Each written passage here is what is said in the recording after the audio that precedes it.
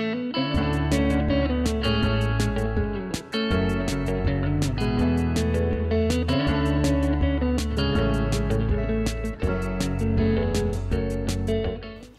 Hola amigos, bienvenidos un día más a mi cocina. Yo soy Loli y hoy os voy a enseñar a preparar una receta fantástica. Vamos a preparar un riquísimo pollo con patatas cremoso. Una receta que se hace fácilmente, que queda deliciosa y con este aspecto tan estupendo que estáis viendo. Vamos, aquí huele ahora mismo a gloria bendita. No os perdáis la receta y quedaros hasta el final. Pero ahora atentos, que comenzamos.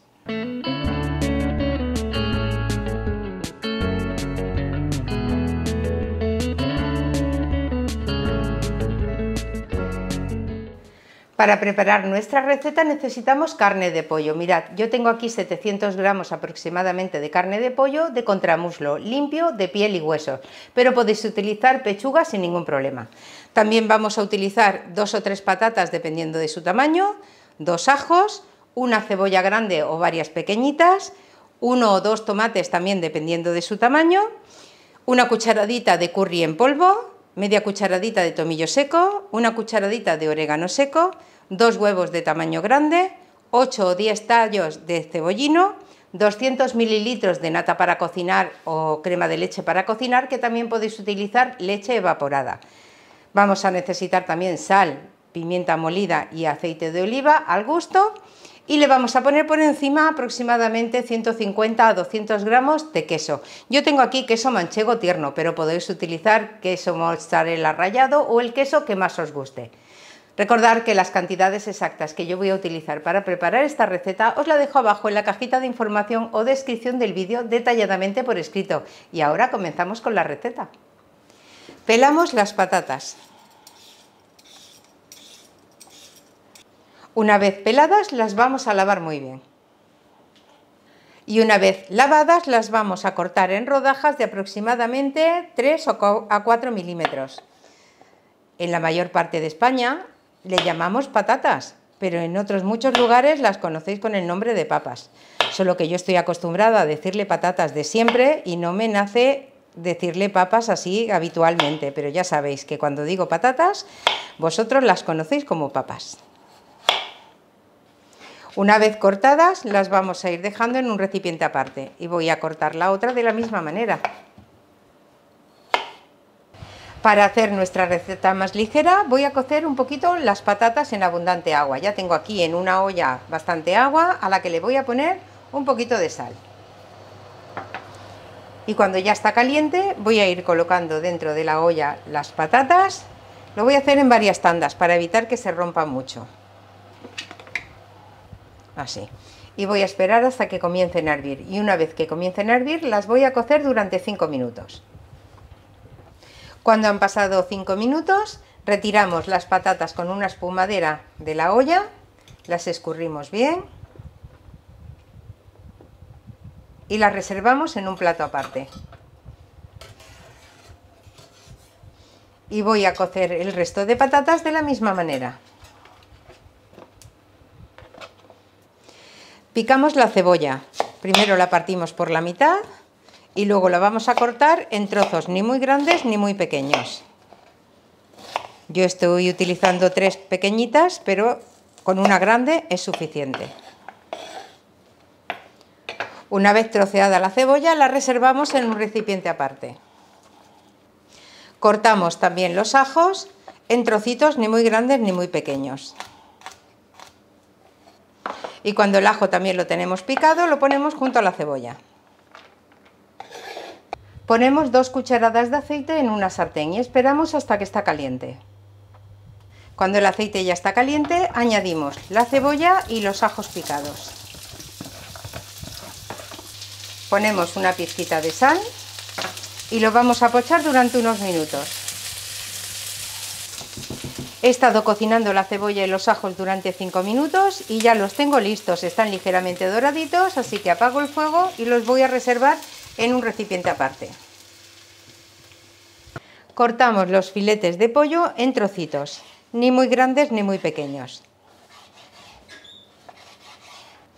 A medida que los vamos cortando, los ponemos en un recipiente aparte. Y seguimos cortando hasta que los tengamos todos. Ya sabéis que podéis utilizar pechuga sin ningún problema. Ya tengo toda la carne de pollo cortada y mirad, os recuerdo que si utilizáis tablas de madera hay que desinfectarlas muy bien después de haber cortado carne de pollo, con un poquito de lejía, bien limpias, bien enjuagadas y dejarlas secar al aire. La carne de pollo suele tener una bacteria que se filtra en las tablas de madera y puede ocasionarnos alguna enfermedad, así que hay que evitar todo eso. Voy a utilizar una bandeja para horno. La mía tiene 31 centímetros de largo por 19 y de ancho por 5 centímetros de altura o profundidad. En el fondo de la bandeja voy a poner aproximadamente la mitad del sofrito de cebolla y ajos, con un poquito del aceite de haberlo frito. Y con una espátula lo voy a extender muy bien para que cubra el fondo de la bandeja. Una vez repartida la cebolla y los ajos por el fondo de la bandeja, voy a colocar las patatas. Una vez que las cocí, las tapé con papel de aluminio y así han estado con el mismo vapor cocinándose un poquito más. Las vamos a colocar ordenadamente y un poco solapadas unas sobre otras, hasta cubrir toda la bandeja. Una vez colocadas todas las patatas en la bandeja, vamos a repartir el resto de cebolla y ajos que nos queda por encima. Ya tengo la cebolla y los ajos bien repartidos y ahora voy a apartar la bandeja y reservarla aquí en un ladito, porque lo que vamos a hacer es salpimentar la carne al gusto. Le ponemos un poquito de sal y pimienta molida.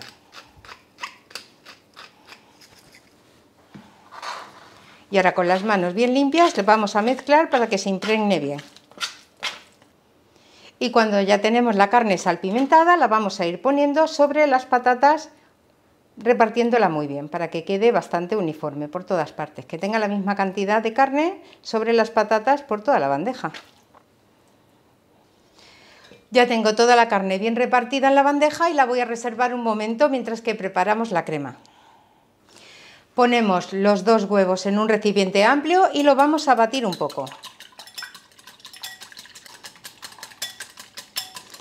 Seguido añadimos la nata o crema para cocinar, que también podéis sustituir por leche evaporada o alguna crema de origen vegetal que vosotros utilicéis para hacer este tipo de recetas.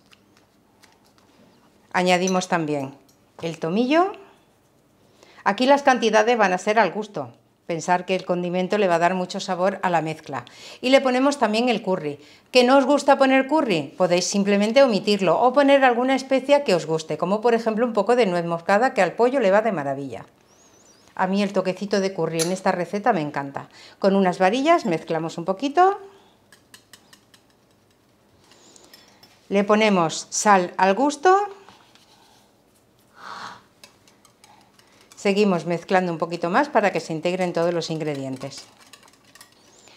Y por último le vamos a poner el cebollino que lo tengo lavado y bien seco y se lo vamos a picar con un cuchillo o con unas tijeras. Os digo lo mismo, si no os gusta el cebollino o no no lo encontráis, simplemente no lo pongáis. También podéis poner un poquito de perejil o alguna hierba que os guste.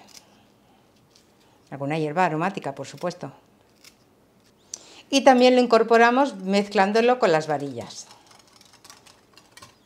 Y ya vamos a verter la mezcla sobre el pollo en la bandeja. La vamos a ir poniendo bien repartida. Vamos repartiendo con la espátula un poco la crema que hemos vertido en la, en la bandeja y si es necesario pues mezclamos así un poquito para que se vaya filtrando entre la carne. Ya tengo el horno precalentándose a 190 grados centígrados con calor arriba y abajo.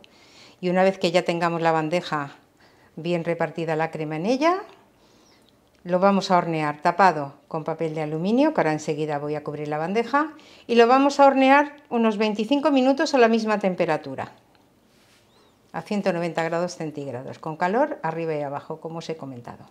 Mirad, voy a agitar un poquito la bandeja, así me aseguro que la crema filtra bien.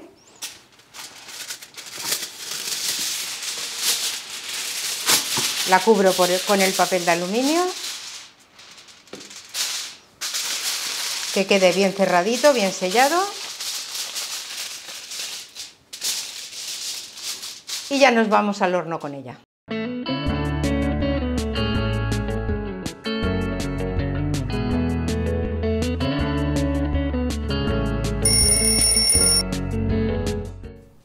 He lavado muy bien los tomates y los he secado y ahora voy a cortarlos en rodajas aproximadamente de medio centímetro de grosor. Así. He cortado tres rebanadas de cada tomate y mirad el tomate que me queda, no lo voy a tirar, lo voy a añadir a la ensalada de hoy. Y ahora lo que voy a hacer es reservar las rodajas de tomate en un plato aparte para más adelante. Como tengo unos tallos más de cebollino, los voy a picar con unas tijeras aquí en un recipiente aparte para ponerlos por encima una vez que ya tengamos la receta terminada. Han pasado los 25 minutos de cocción y vamos a retirar el papel de aluminio y vamos a ver qué tal nos va el horneado.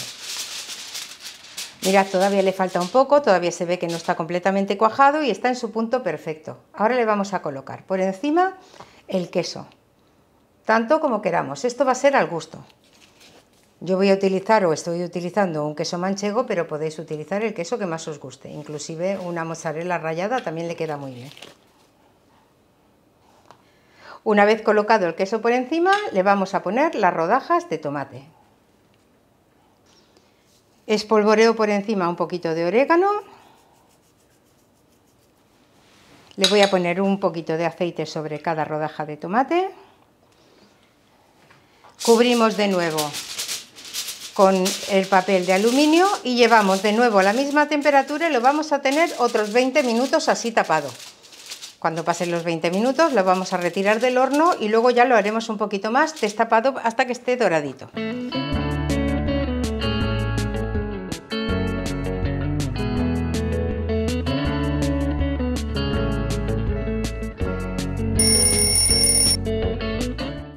Aprovecho este momento para animaros a que os suscribáis a mi canal si aún no lo habéis hecho, porque es completamente gratis y si activáis la campanita recibiréis un aviso cada vez que yo publique un nuevo vídeo.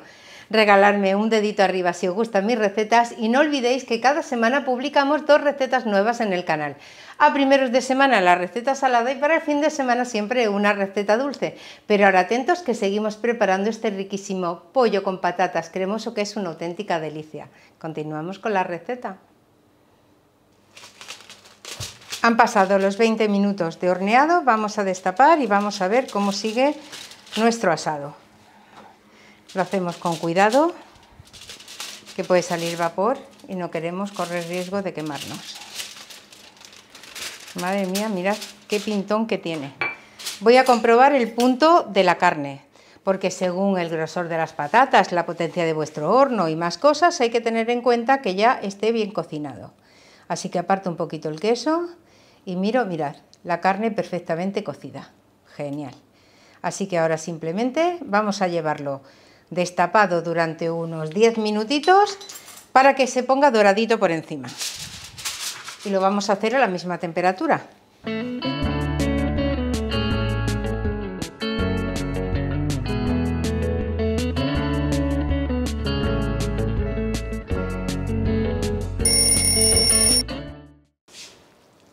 Mirad después de 10 minutos que hemos gratinado por encima, qué pinta más estupenda que tiene. Ahora enseguida que lo sacamos del horno, lo vamos a espolvorear por encima con el cebollino que picamos y ya lo tenemos listo para disfrutar. No me digáis que no está apetecible, pues aquí huele, madre mía, a gloria bendita. Y listo, como siempre os digo, probadlo, os va a encantar. Voy a emplatar una ración. Primero voy a cortar con el cuchillo. Y mirad, madre mía, qué aspecto tan estupendo que tiene. Por favor, esto es un auténtico espectáculo. Mirad, qué pinta. Madre mía, qué cosa tan rica. Os quiero enseñar de cerca cómo queda este riquísimo plato. Madre mía, de verdad. Qué cosa más deliciosa. Mirad, la carne está perfectamente cocida, la patata tierna, jugosa, cremosita. Bueno, esto es un espectáculo. Qué cosa más rica. Y ahora a probar esta maravilla por vosotros.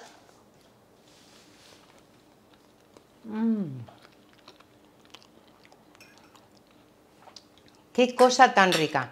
La carne está súper jugosa y súper tierna, se deshace en la boca, en serio.